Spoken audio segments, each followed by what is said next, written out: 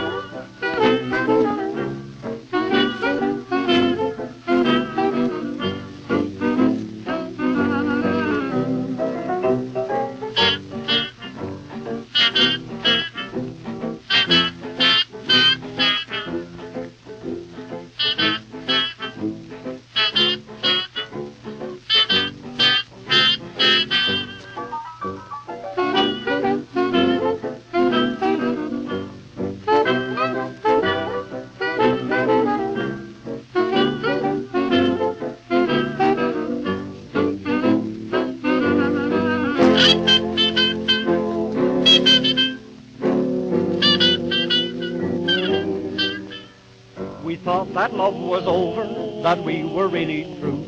I said I didn't love her, that we'd begin anew. And you can all believe me, we sure intended to, but we just couldn't say goodbye. The chair and then the sofa, they broke right down and cried. The curtain started waving for me to come inside. I tell you confidentially, the tears were hard to hide, and we just couldn't say goodbye. The clock was striking twelve o'clock. It smiled on us below. With folded hands, it seemed to say, We'll miss you if you go. So I went back and kissed her, and when I looked around, the room was singing love songs and dancing up and down. And now we're both so happy because at last we found that we just couldn't say goodbye.